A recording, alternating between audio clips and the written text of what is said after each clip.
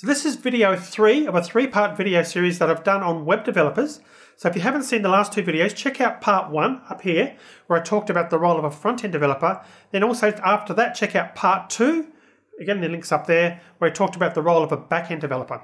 But in this video, I want to talk about, uh, oh, in part three, which is this video, I want to talk about the third type of web developer and uh, also go through the pros and cons of all three and hopefully end up with a recommendation or give you some ideas at least on which area you should specialize in. So let's get started.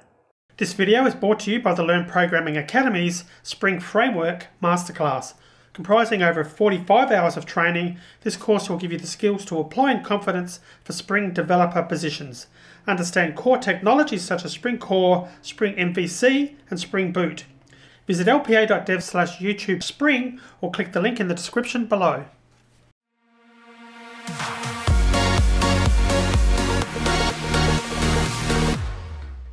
Welcome back. My name is Tim Buchalka with another programming tip of the day. Let's get stuck into this and talk about the third type of web developer. Again, as a recap, first type is the front-end developer, second type is the back-end developer, third type, the full stack web developer. Now, the full stack web developer basically knows the front end and back end, and uh, you know, they know that really well enough to be able to actually code solutions for both the front end and back end. Now, most web developers probably know front end or back end really well if you've already been doing web development for a while, but have general knowledge of the other side, if that makes sense. And you need some basic information on each side anyway to be able to code either uh, you know the front end or the back end. So, for example, a back end developer needs to know what a front end developer effectively needs access to. So, what, what information from the database or whatever, and the front end developer typically needs to know how to access that information from the back end. Now, the full stack web developer, well, they know both sides well enough to engineer solutions. So, uh, you know, it's a difficult thing to get into, and obviously, to get to the stage of being a full stack web developer, you need to go through the process of being a front end developer and also a back end developer because, in fact, that's what you're doing. You're engineering solutions and you're knowing both areas pretty well. So, if you're starting out, okay, what area do you feel that you should focus on? That would be a question you're probably asking yourself. Well, front end development, if this helps, is probably easier to get started with and still pays pretty well.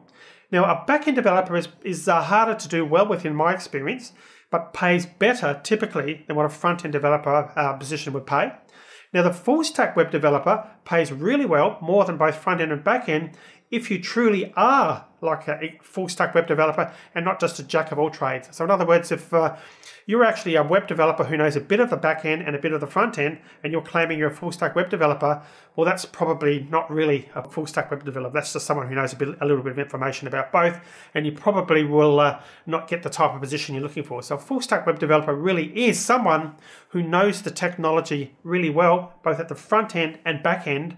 And uh, they're the type of people who've built themselves up, have uh, you know, learnt, the, their trade, so to speak, and specialise in that. So they're the ones who will be paid really well. So keep that in mind. So basically, in terms of full stack web development, for solo developers, that's typically an area that they can get started in. So if you're out there and uh, you know maybe you've got like one or two years experience, or even just starting out for the first time, it's not uncommon when you start your first job to be thrust into the role of a full stack web developer. You know, it's a typical example. You might be uh, um, you might get a job at a very small uh, business or take on a freelance opportunity, and they haven't got an IT department, and they want you to engineer a solution. So basically, you'll be thrust into the role of both, uh, basically a full stack web developer, because you'll need to understand and engineer a solution and do both the front end and the back end, but on a smaller scale than say, perhaps a large project. So basically, that's a good area to start out with, and you'll learn the basics and be able to build yourself up from there. But then after that, because you've been through both the front end and back end, you may or may not decide to specialize in the front end or back end. So given the range of technology, it's hard to actually know everything uh, in terms of a full stack web developer. So if you're wanting to uh, become that uh, you know full stack web developer because you know that it pays really well, there's a lot of things to learn and continue learning, and that's because things change a lot over time.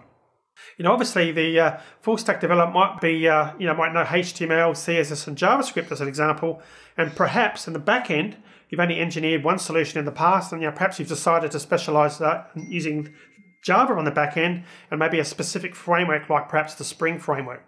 So that's uh, basically uh, one area of the back end that uh, you're specialized in. But uh, as you'll probably find when you start uh, getting out there in the real world, there's lots of different tools in the back end. You know, we've got Node.js, for example, and C Sharp. There's lots of other solutions for the back end. So a full stack web developer, by its very nature, is still going to be someone who doesn't know everything about every framework or every technology because there's just too many to master. So you still need to make a decision as to where you're going to specialize, knowing that uh, you know it's only a particular framework that you can specialize on initially, but keeping in mind that uh, as your experience grows, you'll find moving to another framework, it's really just a matter of learning the ins and outs of a specific framework, and it'll actually make a lot more sense as you move forward. So you'll actually, uh, you know, because you've got the basic uh, information about uh, uh, the backend process, when you move to another framework, it uh, becomes easier because you know a lot of that framework is going to be very similar. There's basic uh, functionality that exists in all frameworks, and you just really need to learn the syntax and the framework, the API calls, etc., to uh, basically engineer that solution. All right, so that's full stack uh, web developer. So let's talk a little bit just in general about the pros and cons. Well, they all pay pretty well, so keep that in mind that as a web developer, the, uh, the pays are pretty well whether you're a front end, back end, or a full stack web developer. The full stack, probably you figured out now, will take the longest to get up to speed with and probably does pay the best depending on if you truly are, as I mentioned, uh, an expert. Or, you know, if you're just someone who's a jack of all trades and knows a bit of both, then you're probably not going to be getting that really high level pay that a true expert's going to get. But that's probably uh, quite reasonable to expect anyway that an expert is going to get paid a lot more. Uh, the front end, I think I mentioned before, is probably the easiest to get started with. Probably, probably in general, and I'm generalizing a lot here, it uh, is the least paid or the smallest uh, amount of money will be paid to a front end developer, but still pays very well. And I know lots of people who have specialized and spent their careers as front end developers and have done really well. So don't think that uh, I'm sort of uh, looking down on front end or saying not to, to specialize in that because that's certainly not the case. And back end developer sits somewhere between the front end uh, developer pay and the full stack web developer. So with that said now, what do you think you should focus on, or what am I suggesting you focus on?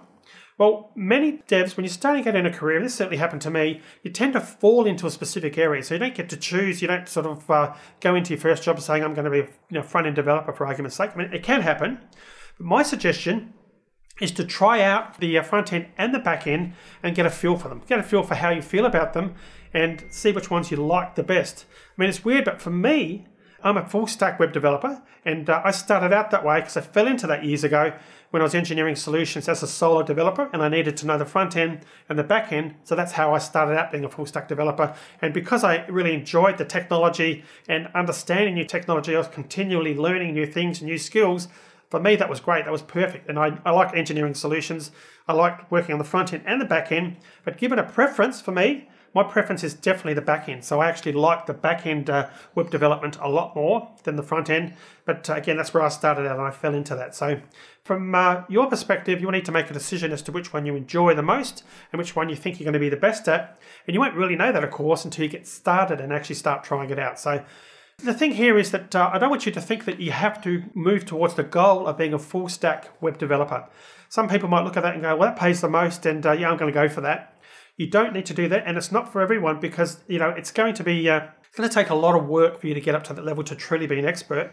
Again, a lot of people that I know have specialized in front end or back end and uh, have uh, done enough, and it can certainly be enough. I certainly would recommend this that uh, for a lot of people, it can be enough for a very rewarding and well paid career. So don't think you have to do that, but the full stack web development position is there if you decide that that's something you want to focus on. But uh, again, keep in mind that technology is moving ahead at a rapid pace. And if you're a full stack web developer, you need to keep up with that both at the front end and the back end. So basically, it's a lot more training for yourself to keep up with the technologies because you certainly don't want to fall behind with technology. You need to keep your skills current to maximize your career options. All right, so good luck with it all. And just remember that uh, you can also swap to the other side in the future. So if you try, say, front end development, uh, you know, for three months or six months or whatever, or take some training courses or whatever it is, and you don't enjoy it for whatever reason, the skills you learn from that period of time will still be useful and you can always switch over and go to, in this case, to the back-end development, try that out as well. And you can take those front-end skills that you've learned and that'll still be useful from a back-end development point of view. And of course, vice versa if you decide that. So good luck. And uh, I hope you achieve your goals in becoming a web developer. Alrighty, so I hope that helped. If you've got any questions, feel free to leave a comment and I'll get back to you. If you're ready to look at the next tip, click on up here and you can check that out. If you're interested in coding specific programming videos, click on the link in the bottom left hand corner. Consider subscribing by clicking on the link up here and I'll see you soon.